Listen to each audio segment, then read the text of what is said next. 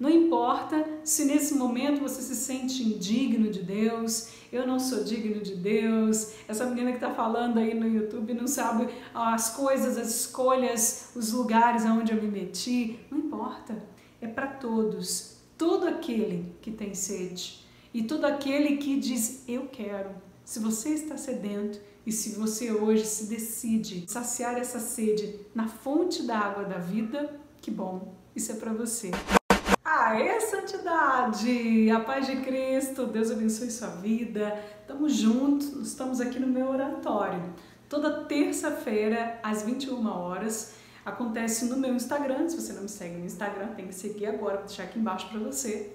Acontece no meu Instagram o nosso grupo de oração online. É uma live toda terça-feira, às 21 horas, o grupo de oração Levanta-se Deus, onde a gente se reúne para rezar.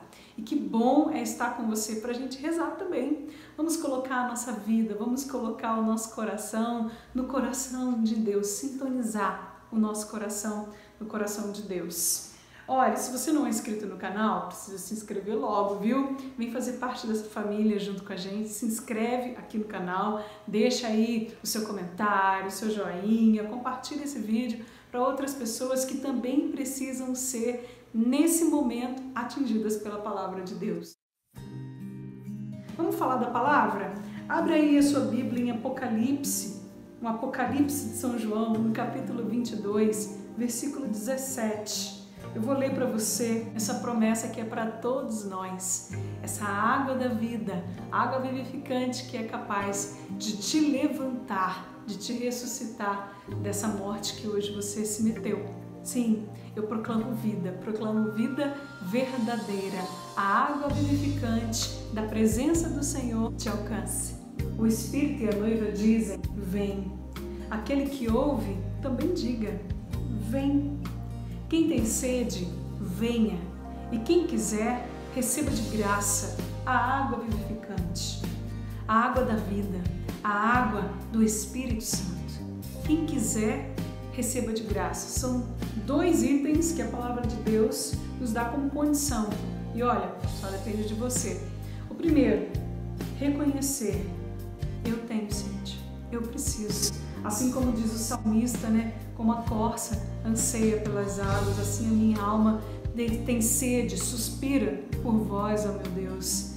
Quando eu verei a face de Deus? Assim também o Senhor está nos chamando a ser como salmista, aquele que reconhece: eu tenho sede de Deus, a minha alma tem sede de Deus, a minha alma suspira por vós, ó meu Deus. E não perde tempo não, já vai reconhecendo, onde quer que você esteja, reconheça: eu sou necessitado de Deus, eu preciso de Deus, a minha alma tem sede de Deus. O Senhor já vai tocando a muitos que procuraram saciar sua sede em fontes poluídas, fontes fora de Deus, falsos amores, falsos relacionamentos, falsas religiões. O Senhor está te dizendo: venha para a água pura, venha para a água da vida, a fonte da água da vida. Você tem sede de Deus. Esse tempo todo que você andou por aí batendo cabeça em tantas portas, em tantas situações, até mesmo se sentindo humilhado, o Senhor está falando para você hoje.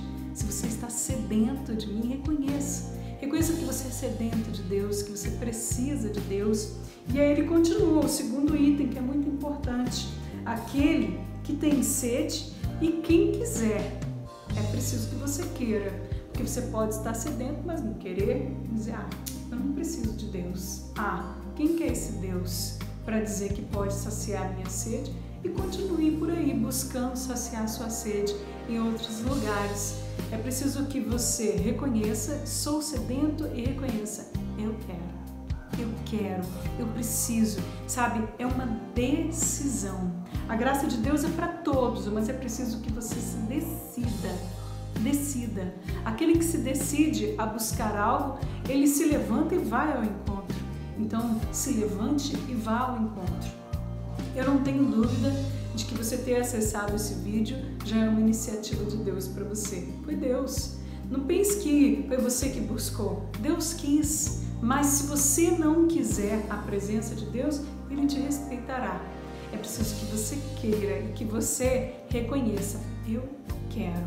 Eu estou sedento e eu quero a graça de Deus. Eu quero a água da vida, eu quero o Espírito Santo. E a palavra continua dizendo: quem tem sede, venha, e quem quiser, receba gratuitamente da água da vida. Essa água da vida que jorra do próprio trono de Deus. Todo aquele que tem sede, venha, venha e beba da água da vida. É gratuitamente que jorra a salvação do trono de Deus e é para você.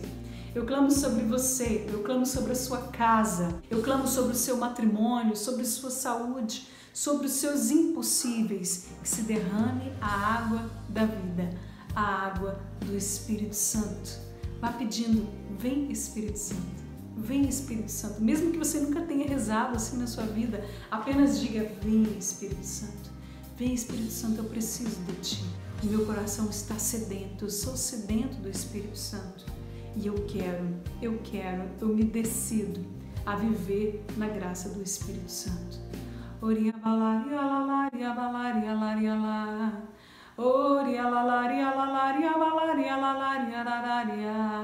Sim, que nesse momento a água da vida alcance o seu coração sedento, o seu coração desejoso da graça de Deus e que já buscou o amor, já buscou a paz, já buscou ser amado em tantos lugares. Mas hoje, a fonte verdadeira, a água da vida, se apresenta para você e é de forma gratuita Obrigado, Senhor. Obrigado pela restauração de tantas almas. Obrigado, Senhor, que vai à frente das nossas vidas. Até aqui, irmão, seu trauma, sua mágoa, sua doença, as suas dificuldades, suas tristezas, suas decepções guiaram a sua vida e as suas ações. Mas a partir de hoje, eu proclamo: começa um tempo novo, um tempo do Espírito Santo. É Ele que vai à frente da sua história e é Ele que te guiará. Que Deus te abençoe. Tchau, tchau.